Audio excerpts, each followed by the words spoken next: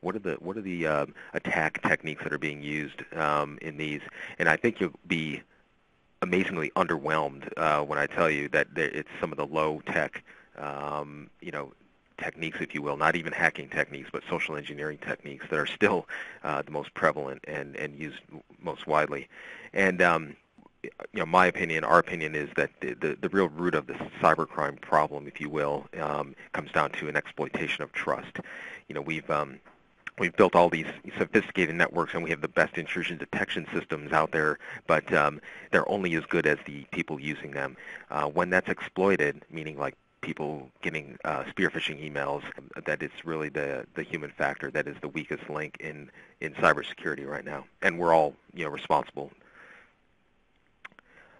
a little bit about who they are. Um, you know, this could be a presentation unto itself, but uh, at a high level, you know, we, we kind of look at these the groups of actors that we're dealing with, at least at the FBI, um, in three different groups. Um, our director, um, uh, Com- Director Comey, recently said, um, you know, there's two kinds of companies out there: companies that have been hacked by China and companies that don't know they've been hacked by China. So what do they want? Um, you know, it, it's I put a whole big list up here, but it's really anything and everything. Um, uh, what what are these people using? What kind of methods are they using? Um, on the right-hand side is more of the, the non-technical stuff, the, the human factor that I talked about, that are still attack vectors for cyber incidents or cyber intrusions, um, conferences, insiders, disgruntled employees, front companies. Um, you know, removable media, thumb drives, um, and then even, you know, visiting foreign delegations uh, in terms of intelligence collection. These are all traditional um, attack vectors, if you will, for gaining, for reconnaissance work and gaining intelligence, because there's a lot of information you can get out of someone at a conference,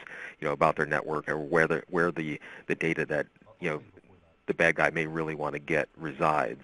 So, um, again, we, we always have to, as technologists, we have to get outside of that technology box and, and the ones and zeros of you know defending our networks to think about the human factors. Phishing is just still the number one thing we're seeing. Um, it is the simplest, but it is still the most effective um, because it preys on our trust.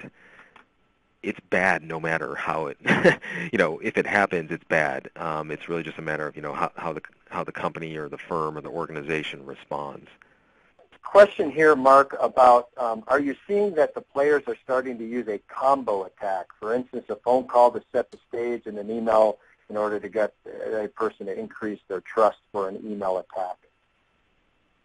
Uh, yeah, absolutely. I would say actually it, it would be it's rarer to not see something like that.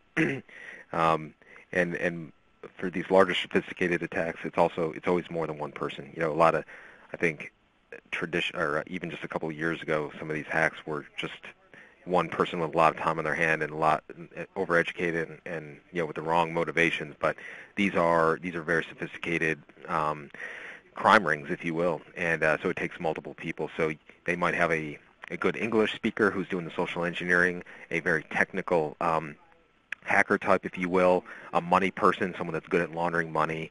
Um, you know, someone who has a legitimate business where they can be buying infrastructure, right? Servers, um, you know, VPNs, proxies, everything that they need. Um, yeah, it, it, it's a team of people, and um, I hope that answered the question. But it, they are all multifaceted. The more sophisticated yeah. attacks.